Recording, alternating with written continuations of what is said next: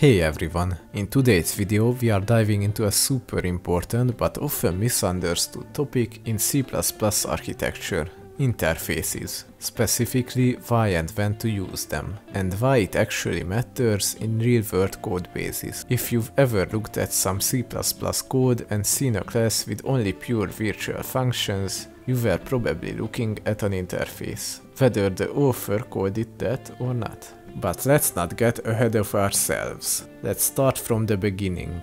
What is an interface in C++? In C++, an interface is typically a class that contains only pure virtual functions, that is, virtual functions set to zero, and no data members.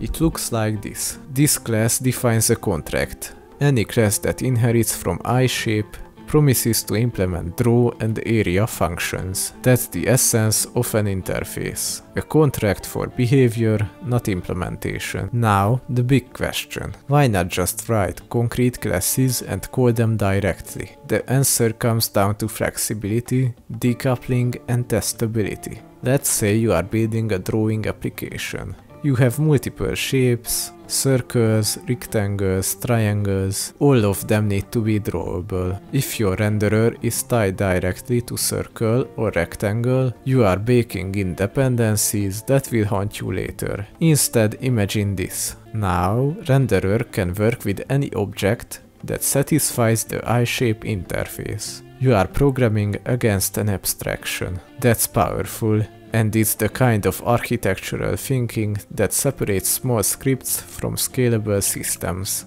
This is where things get interesting. Should every class have an interface? Absolutely not. Using interfaces too early or too often leads to unnecessary indirection. But there are clear situations where interfaces are the right tool. If you need to treat different classes uniformly, say you want to store a collection of different shapes, interfaces let you do that. No templates, no type erasure, just classic polymorphism. When you want to decouple dependencies, imagine you are building a logging system, you could write this. But now you are hardcoding to std cout. Instead, you could define an interface. Now, file logger, console logger, network logger, all can implement ilogger. Your business logic doesn't care how the message gets logged. It just knows it can call log function. This is a big one. Interfaces allow you to inject mocks. Let's say you have a database class that implements an iDatabase interface. In tests, you can inject a fake test database that records calls instead of touching a real database. This makes your code unit testable, and in production systems, that's called why interfaces matter. So far we have talked about how and when. Let's go deeper. Why does it matter at all?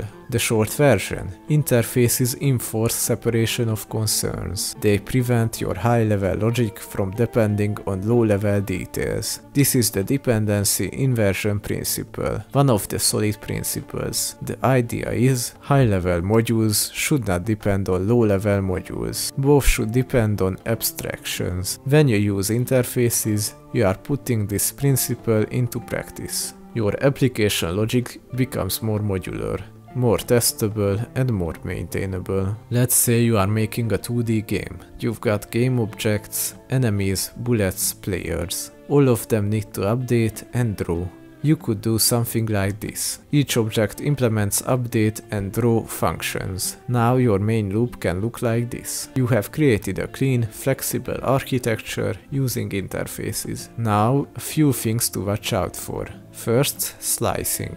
If you accidentally pass interface objects by value, you lose polymorphism. Always pass by reference or pointer. Second, no data members in interfaces. Interfaces should not contain data members, only behavior. They are meant to define what an object can do, not how it does it. If you find yourself putting fields in your interface, it's probably not an interface anymore. Avoid over-engineering.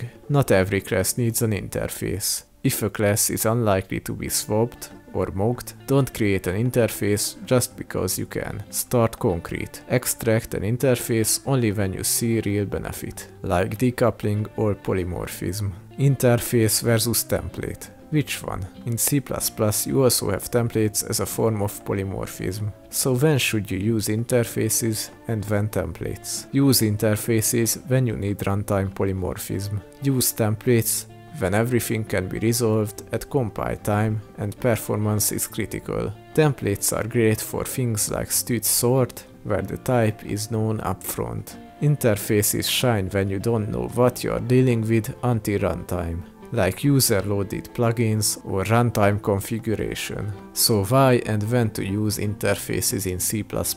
Use them to define contracts. Use them to decouple systems. Use them to write better, testable, maintainable code but don't overuse them. Start with concrete classes and introduce interfaces when you need flexibility or runtime abstraction. They are a tool, not a rule. If you use them well, your codebase becomes more resilient to change. You separate concerns, you isolate responsibilities, and you build software that lasts. That's why interfaces matter. Thanks for watching. If this helped clarify things for you, give the video a like, subscribe and check out the playlist on the screen. See you in the next one.